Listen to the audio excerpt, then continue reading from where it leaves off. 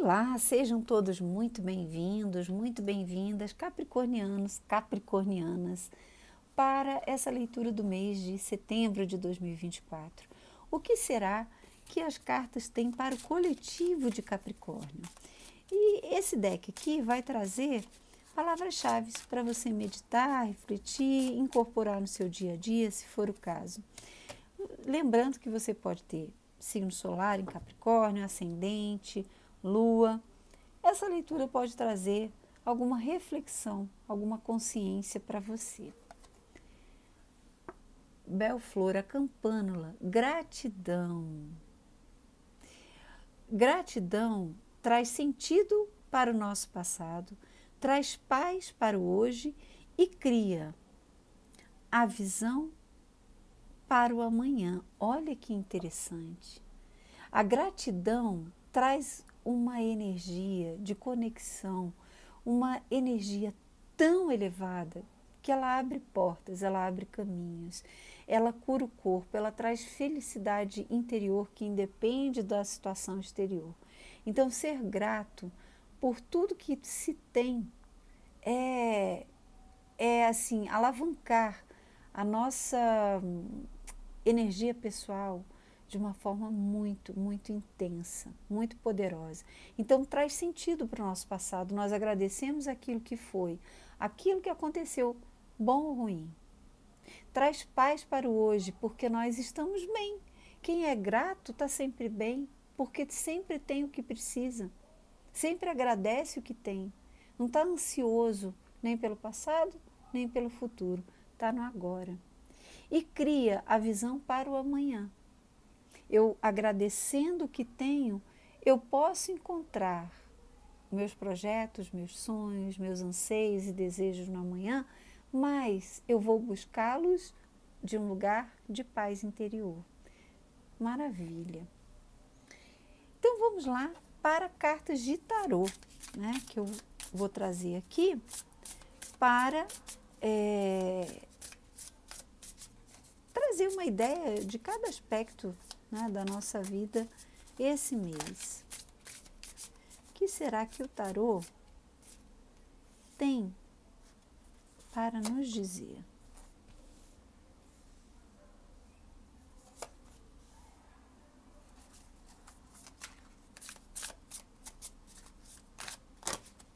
Opa. Olha que leitura intensa. Gente, só tem arcano maior aqui. Caraca! Só arcanos maiores. O que, que isso quer dizer? É uma leitura muito consciencial. Os cápricas estão precisando ou buscando consciência. Pratique o autocuidado.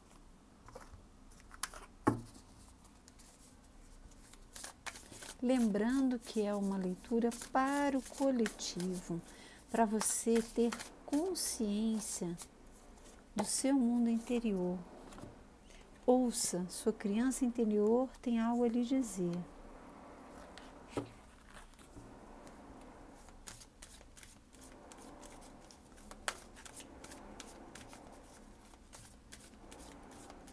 E agora esse oráculo. O futuro brilhante. A hora mais escura é justamente acontece está justamente antes do alvorecer. Que coisa linda. Bom, vamos lá. Queridos Cápricas, a gente é, começa com a roda da fortuna.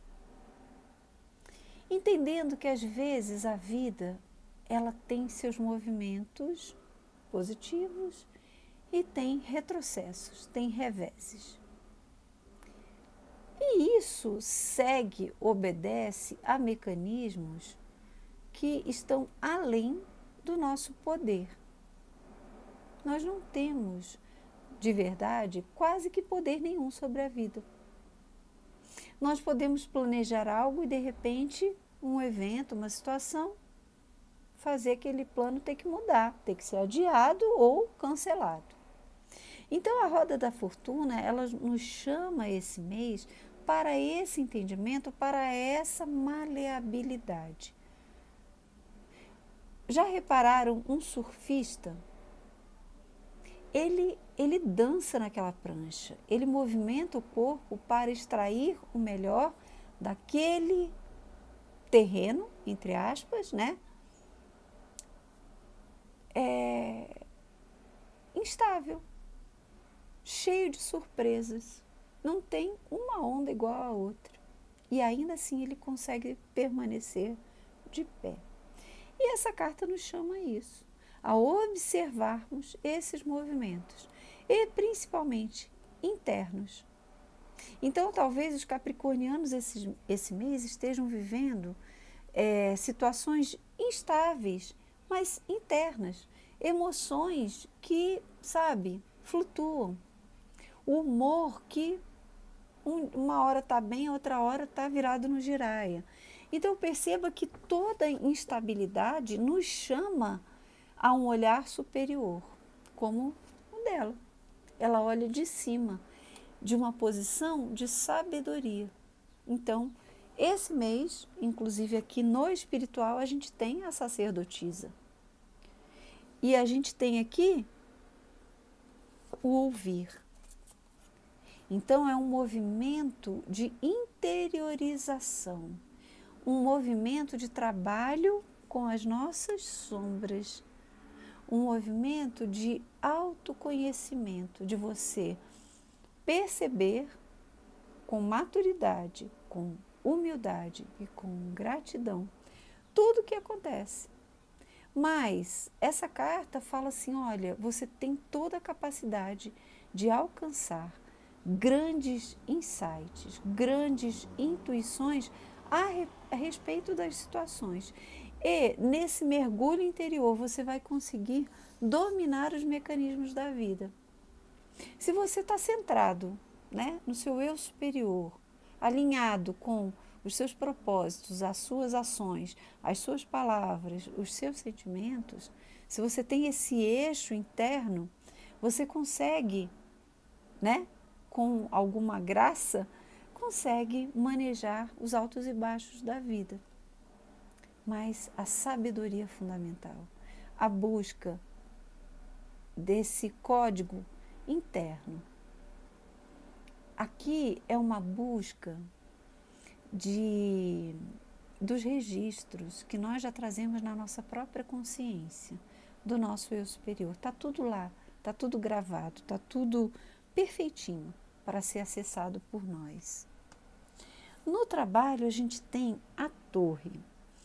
A torre aqui pode significar algum evento muito inesperado que chegue de uma forma muito rápida até e que pode representar até muito sucesso. Né? A gente tem aqui ao lado a carta do mago falando de um início bombástico, de um, um projeto. Você começou um projeto novo? Ou você começou num trabalho novo? Ou investiu algo, algum dinheiro em algum bem? Isso pode ser muito positivo. Né? Aqui na vida material, é, ou de repente, sei lá, vida material pode ter a ver com o corpo, e você tem, sei lá, recebe um diagnóstico que não é legal. Calma, calma, a gente tem toda a possibilidade de lidar com isso, de acessar a cura interior, de é, perceber aquilo que o nosso corpo está precisando, né? Então aqui a perspectiva é de você deixar cair o que tiver cair, deixar desconstruir aquilo que precisa ser desconstruído e, inclusive, fazer esse movimento. Você faz sempre as coisas do mesmo jeito? Talvez seja a hora de você se reinventar.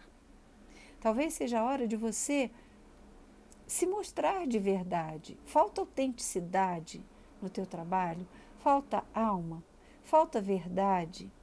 Coloque a sua marca, seu brilho. coloque-se da forma como você é. Isso vai ser extremamente positivo. Na comunicação, o mago.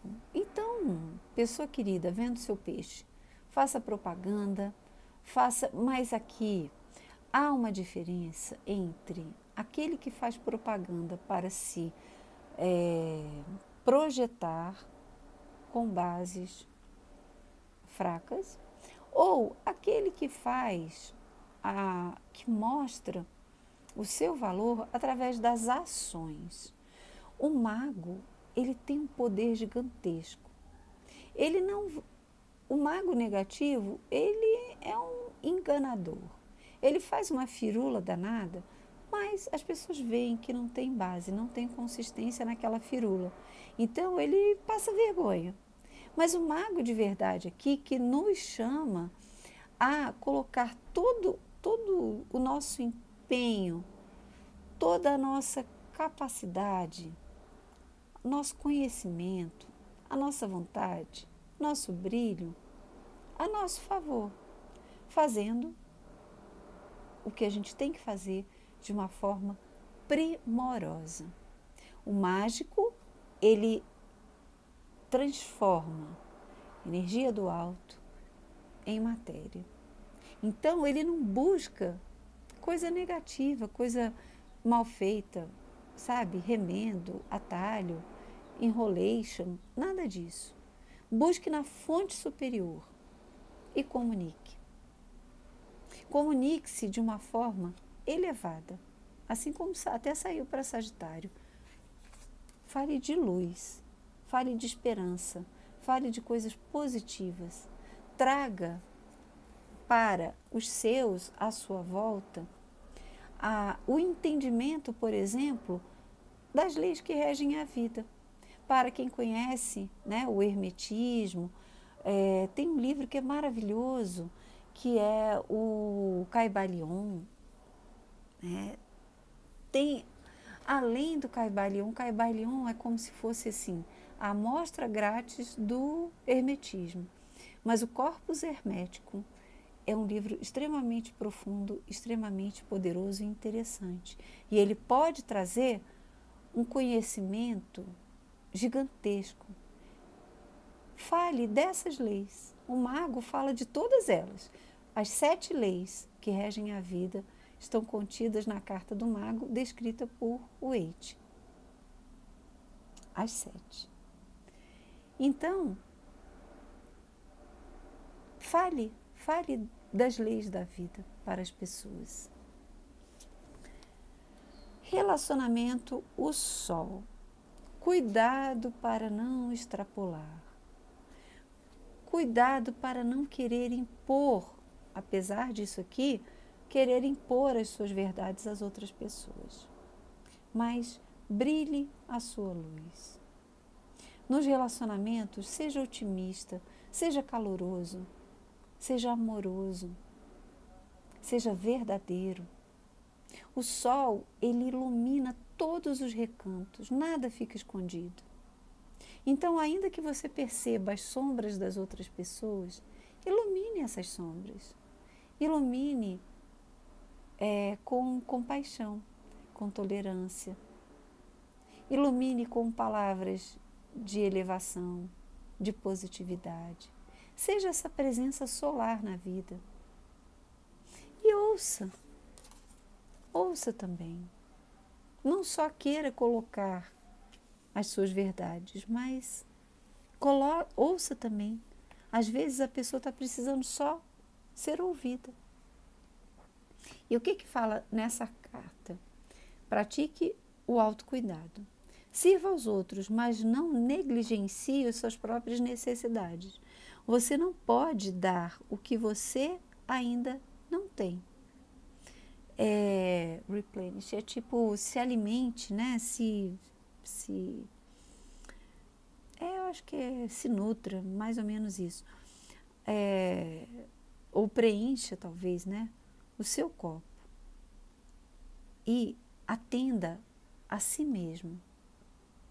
Então aqui está falando de um movimento que talvez pode até haver com aqui com a carta da torre, de você fazer um check-up, de você se cuidar, ou de você perceber assim, olha, o estilo de vida que eu estou levando não é saudável, então eu tenho que tomar mais cuidados com a minha saúde. Eu preciso, sabe, deixar a teimosia de lado, aceitar o conselho das outras pessoas e fazer o que for melhor para mim. Eu preciso me cuidar. E aqui, um futuro brilhante. A hora mais escura é justamente aquela antes do alvorecer. Então, olha que coisa linda essa carta que parece também a sacerdotisa, parece também o eremita. Então, entender nos movimentos da vida aquilo que faz parte do jogo. E entendendo o que faz parte do, do jogo, sabemos que os ciclos negativos terminam. Saturno está deixando aí Capricórnio depois de, sei lá, 16 anos, não sei, mais ou menos isso. Então, de repente, pode ser uma virada de chave para os capricornianos e um movimento muito feliz, muito positivo, muito otimista, muito brilhante e esperançoso. Agradeçamos. Um grande beijo, fiquem com Deus e até a próxima.